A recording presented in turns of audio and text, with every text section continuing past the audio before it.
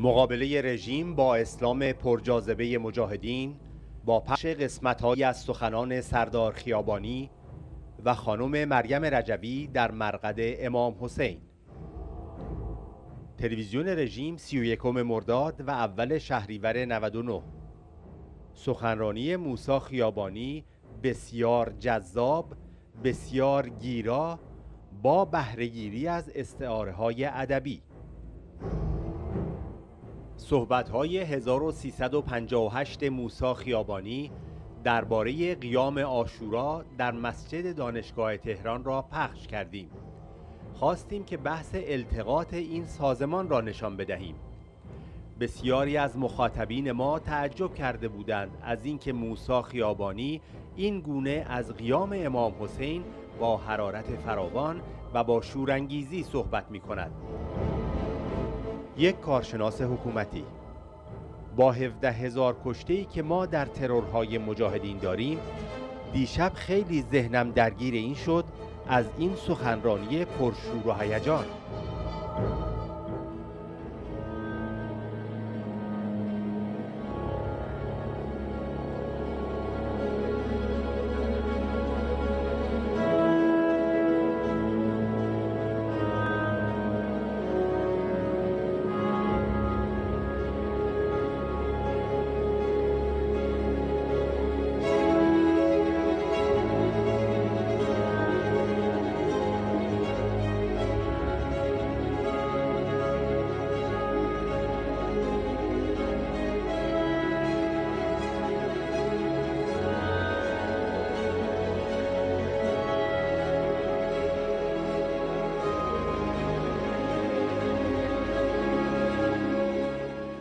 بسیاری از مکاتب و بسیاری از نظریه ها همیشه مدعی حمایت از حق مردم هستن. ما در این برنامه درباره سرمایه‌داری دینی و آشورا در شب‌های آینده صحبت خواهیم کرد. راجع به عدالت خانم مسلمان صحبت خواهیم کرد.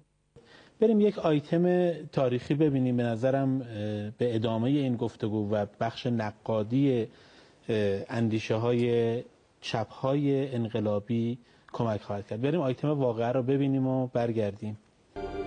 من عمل صالحا من ذکر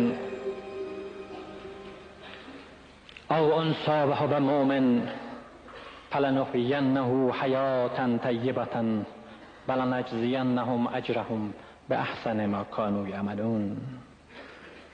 کسی که عمل صالح کند عمل صالح چیه؟ یعنی همان کار اصلی همان مبارزه در جبهه اصلی. همان یورش بردن به مانع اصلی. کسی که این کار را بکند و بدین کار مؤمن باشد فلنحینه حیاتا طیبه ما او را از حیات طیبه برخوردار می‌کنیم. حیات از نظر امام این بود. امام حیات انسان را نه در مرحله محدود و موقت زندگی دنیایی بلکه آن را چیزی فراتر و چیزی ابدی می‌دید که دست یافتن به آن جز با عبور از دروازه شهادت ممکن نبود. ولا تحسبن الذين قتلوا في سبيل الله امواتا بل احیاء عند ربهم یرزقون. بنابراین در دیدگاه امام زندگی با اون که اون نصیحتگران میپنداشتند فرق کیفی داشت. در دیدگاه امام حیات طیبه انسان در رهایی در رهایی از نظم یزیدی و از هر چه پلیدی است در اون حاصل و خلاصه می‌شد. اما اینها هند اکثر عناصر صادقی بودند که با عبادت زاهد معابانه خود را راضی کرده بودند که گوشهی بشینند و به عبادت خدا مشغول شوند و حالا یزید هر غلطی که می‌خواهد بکند. آیا این عبادت این هم یکی از اون مظاهر انحطاطی است که جامعه وقتی دوچارش می شود بروز می کند در دیدگاه حسین هم انسان اصلا برای عبادت خلق شده.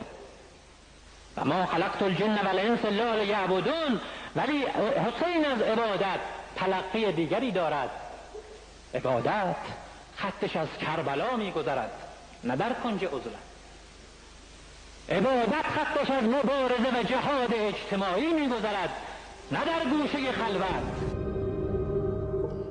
آی دکتر آیتمی که دیدیم می‌تواند این دقدقه ما را خیلی بیشتر نشون بده که ما با کسانی طرفیم که با یک طیف جریانی. ما صحبت های موسا خیابانی رو دیدیم در سال 1358 در مسجد دانشگاه تهران که دقیقا با همین ادبیات ادبیات نفی زر زور تزویر نفی استعمار استبداد استحمار دعوت به مبارزه خداگاهی نفی دینداری آمیانه و جریانی که همه واقع همه زمانها آشوراست و همه مکانها کربلا و میل به مبارزه کسی که در همون بره شروع می‌کنه به فعالیت عملیاتی تروریستی.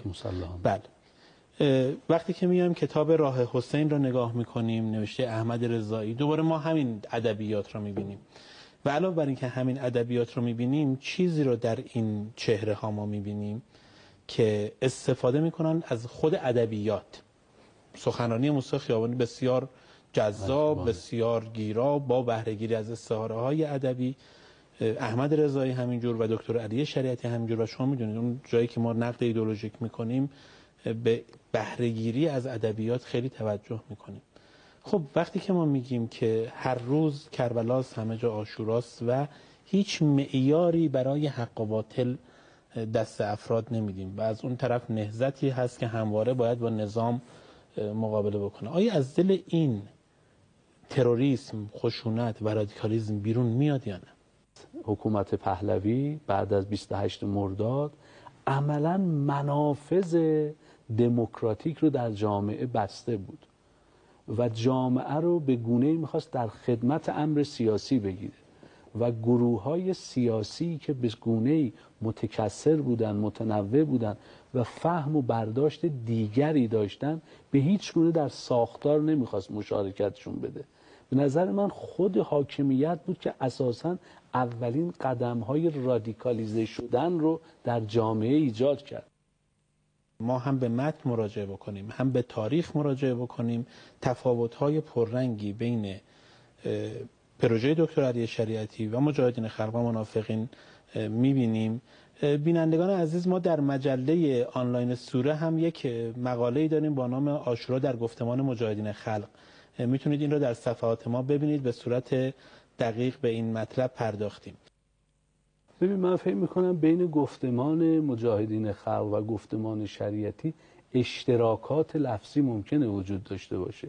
ولی اگر گفتمان شریعتی رو در کلیتش و در همون هندسه معرفتیش نبینی دوچار این خلق خواهیم شد که بله شریعتی ببین تو کتاب اینجوری گفت مثلا موسی خیابانی هم اینجوری گفت احمد رضایی هم اینجوری گفت مسعود بس ببین اینا همه با هم چقدر شبیه؟ اینها رو اگه ما نتونیم از هم تمیز بدیم اون موقع می‌تونیم خیلی ساده انگاره بگیم ساده انگارانه بگیم که خب شریعتی بعد مجاهدین خلق بعد مثلا تروریسم بعد رادیکالیزم حتی امروز داعش. یعنی شریعتی به عنوان مثال کسیه که منبع, منبع و الهام بخش به داعشه. این نوع نگاه کردن به مسائل خیلی ساده انگارانه و تقلیل گرایانه است.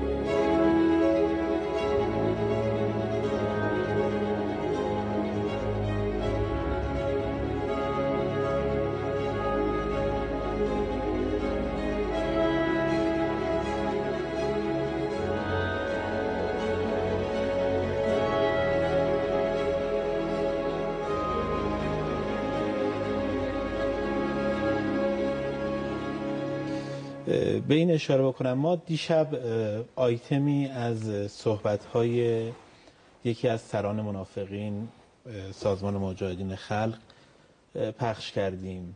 1358 صحبت های موسی خیابانی در مسجد دانشگاه تهران. صحبت های درباره قیام آشورا و خواستیم که بحث التقاط این سازمان و اعضاش رو نشون بدیم. از دیشب که این آیتم پخش شد ما بازخوردهای فراوانی داشتیم. بسیاری از مخاطبین ما تعجب کرده بودند از اینکه اون موسای خیابانی جلاد تروریستی که بخشی از جنایتهاش رو در فیلم ماجرای نیمروز دیده بودند یا در آثار مختلف دیده بودند پژوهشگران در اسناد دیدند.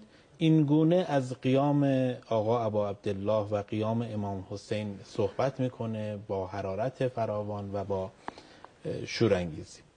نکته ای که هست اتفاقا همین جاست و اون چیزی است که تحت عنوان جریان نفاق یا به تعبیر دقیقتر جریان التقاط مطرحه.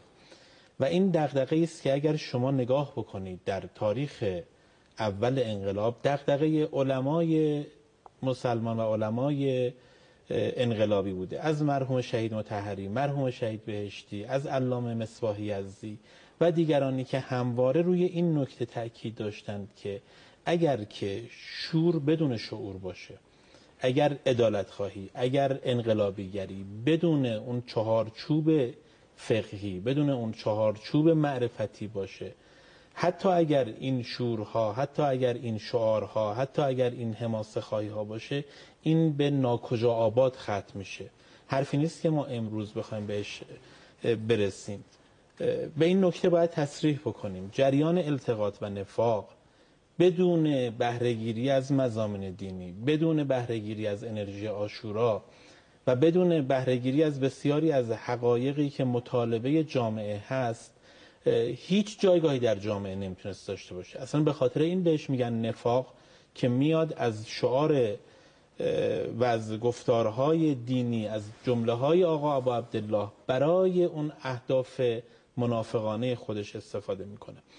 اون موسای خیابانی که 1358 آغاز ترورهاش رو آغاز جنایتهاش رو با صحبتهای در مسجد دانشگاه تهران و با صحبتهای آقا ابا عبدالله توجیه می‌کنه رو داشته باشید. ما امشب می‌خوایم چیز دیگری در برنامه سوره پخش بکنیم و ببینیم که اون به کجا ختم میشه.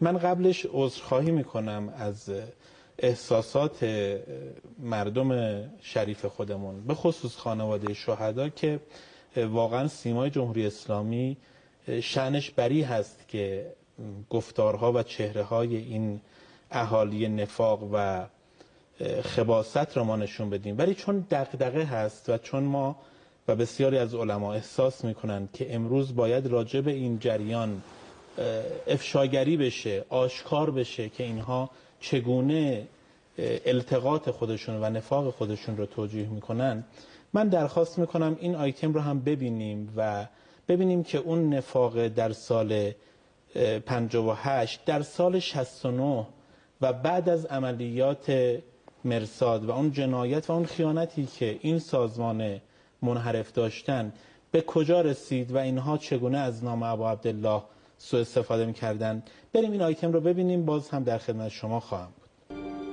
یا حسین اونچه که از نام تو برای پیروانت تدایی کننده است و نام تو با اون عجینه فدا پاکبازی و پاک باختگیته.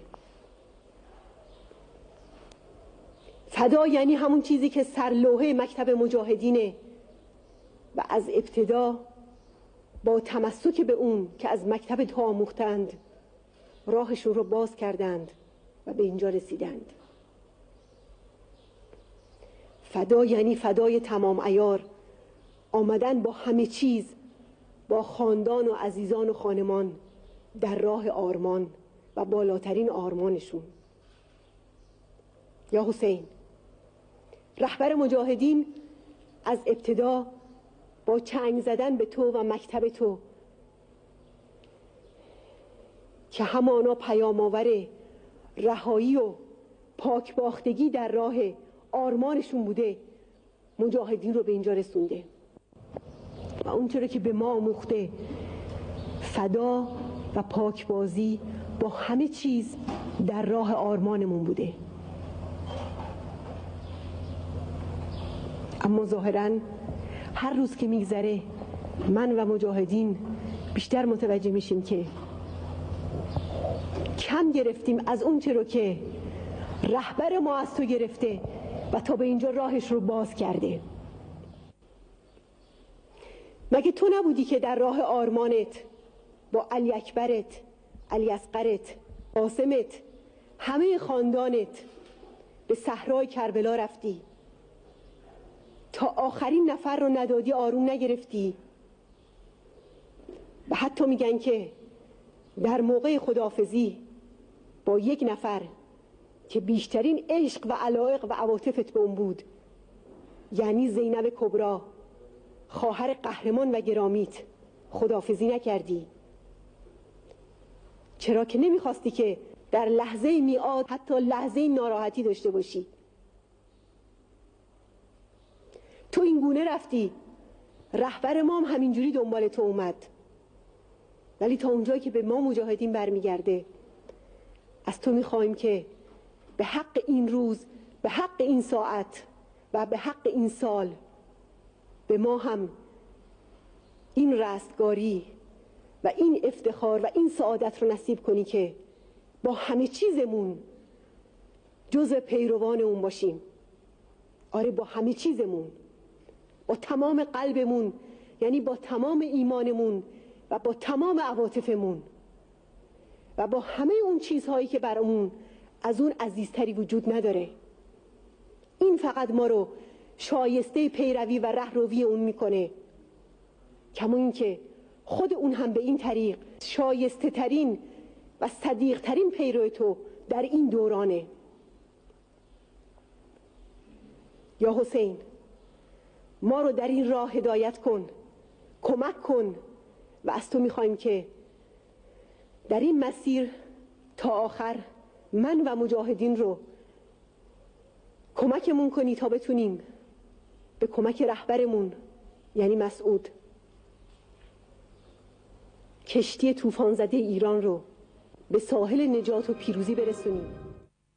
همه دیدیم که چگونه بعد از عملیات مرساد وقتی که به وضوح دیگه همه چیز خیانت باره و از یک کشوری که با کشور ما در حال جنگ بوده این جریان وارد شدند و اون شکست سهمگین را هم متحمل شدند و همه مردم ایران مقابل اینها موضع گرفتن این جریان چگونه برمیگرده و در اوج نفاق به حرم آقا ابو عبدالله میره و با اعضای خودشون اونجا دکلمه خانی می‌کنن. تأکید بر این هست که وقتی ما داریم از جریان نفاق حرف می‌زنیم از جریان التقاط حرف می‌زنیم منظورمون دقیقا همین شب که برنامه داشتم نگاه می‌کردم و رسید به صحبت های موسی خیابانی خیلی چیزها در ذهن من چرخید. و این جمله این که خیلی ها حرف حق می‌زنند اما یرادو به هل باطل. این تفکر جانی از حضرت سید شهدا از یک حق دم می‌زنه و یاراد به حل باطله برای رسیدن به قدرت. باز همون اموال دولتن بین الاغنیا دسترسی پیدا کنیم حکومت مال ما باشه. اگه دست ما نباشه همه باید نفشه. 17 هزار شهیدی که ما در ترورهای اینها داریم و خیانت هایی کردن به خود مردم اراجه های دیگه و این دیگه مردم می‌دونن. دیشب خیلی ذهنم درگیری این شد این سخنرانی پرشور و هیجان اما بدون مغز توهی و در خدمت ظلم گسترده اینها.